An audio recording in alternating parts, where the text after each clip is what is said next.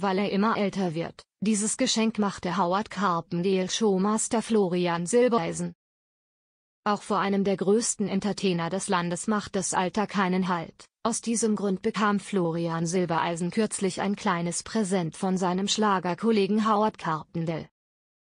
München, Florian Silbereisen, 42, ist aus der Schlagerwelt nicht mehr wegzudenken. Gerade tourt der Showmaster mit das große Schlagerfest XXL durch Deutschland. Am 30. April besuchte er mit seinen Gästen die Olympiahalle in München, und da plauderte der 42-Jährige auch mal aus dem Nähkästchen. So verriet er unter anderem, welches Geschenk Schlager-Ikone Howard Carpendale, 78, ihm kürzlich machte, doch dieses Präsent möchte der Sänger nicht anfassen.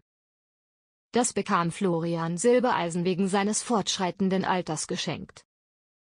Vier Stunden lang lieferten Florian Silbereisen, der von seinen Showbiz-Kollegen gerne mal mit kuriosen Spitznamen angeredet wird, und seine geladenen Promis für die rund 8000 Gäste eine Megaschlagersause.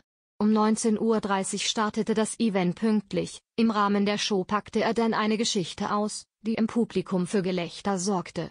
Bunte.de war vor Ort und berichtet von der witzigen Beichte des Sängers. Vor 20 Jahren war ich noch jung und knackig.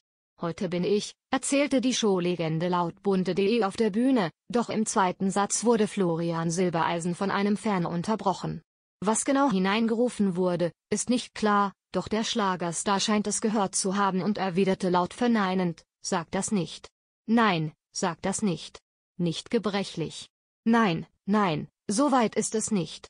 Nein, nein, ich bin noch fit, aber man wird ein bisschen älter.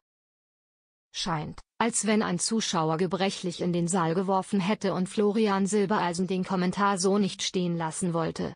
Trotzdem veranlasste dieses kurze Ferngespräch den Sänger dazu, eine witzige Geschichte auszupacken. Und zwar habe Musikikone Howard Carpendale dem 42-Jährigen kürzlich, laut seinen Erzählungen, eine Haardönung geschenkt, wegen seiner grauen Haare.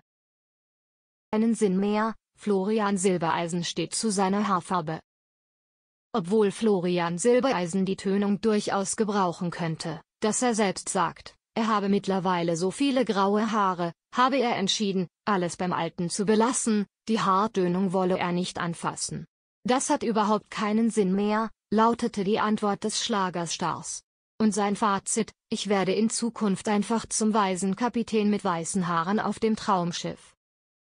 Obwohl der 42-Jährige kürzlich gegenüber der deutschen Presseagentur verriet, dass es ein Wahnsinnsgefühl sei, vor tausend feiernden Menschen auf der Bühne aufzutreten, offenbarte Florian Silbereisen ganz bescheiden, dass es für ihn auch in Ordnung wäre, vor kleinerem Publikum zu spielen.